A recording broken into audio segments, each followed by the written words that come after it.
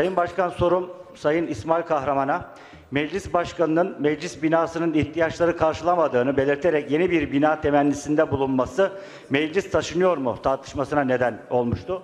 15 Temmuz sonrası yıkılan eski halkla ilişkiler binasının yerine yeni bir bina yapılacağı etrafına asılan bez afişlerle ilan edilmişti. Bezler eskidi ama herhangi bir çalışma yap- yapılmaya başlanmadı. Geçtiğimiz hafta onlarca hafriyat kamyonu eski halkla ilişkiler binasının olduğu alana toprak getirildiği görüldü. Yeni bir bina yapılacaksa toprak niye getiriliyor? Bu çalışma ne için yapılmaktadır? Meclis başkanının meclisi taşımayacağız, böyle bir arayışımız yok demesine rağmen yeni bina yapımına başlanmamasının gerekçesi nedir? Yoksa meclisi sarayın gölgesine götürmek istiyorsunuz da şimdilik kamuoyundan saklayalım mı diyorsunuz? Meclis başkanımızdan yeni bir açıklama yapmasını bekliyoruz. Teşekkür Teşekkür ederim ben.